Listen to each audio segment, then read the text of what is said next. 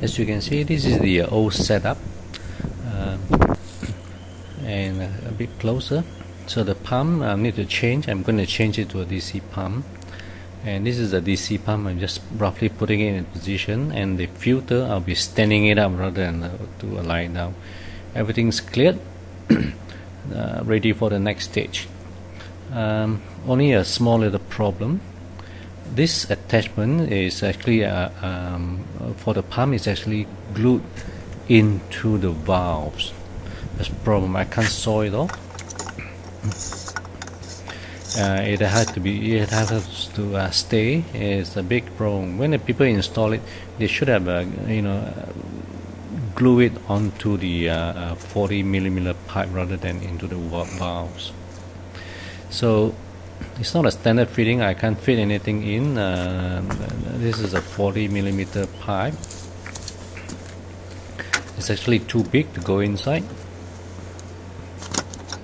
Anything smaller is too small. So I've been sanding sanding this uh, down to make it thinner so that I can uh, glue it in. And then half an hour later it's glued in with an elbow to uh, come up to meet the pump and um, you need to use a primer so that the, uh, the, the glue will stick better. So the red color is a primer and the green color is the glue. This glue is uh, pressure rated. So it's basically for pressure environment. Another elbow. And that's to um, almost getting to the pump now now before we uh, glue the uh, last bit that to uh, you know that the um, pump attachment uh, you need to make sure that the locking nut of the pump is in the pipe uh, you know try it in, inside put it inside first. That one that piece has got to be inside before you uh, um, glue this bit. If you forget then you got trouble. So that's how it is. This locking nut will then you know lock this uh, into the pump so when you're doing the other side you need to remember that as well. So this stage I've turned the uh, filter around to stand up straight.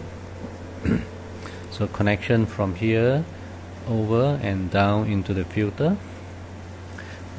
Filter standing up is, is normally how it should be is, is the um, uh, previously uh, I don't know what happened. The uh, installer uh, did it wrongly.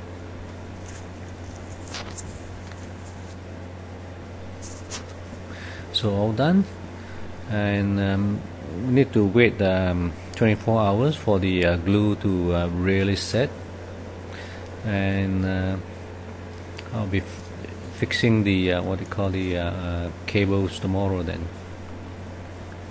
So next job cable tying together and powering up. Thanks for watching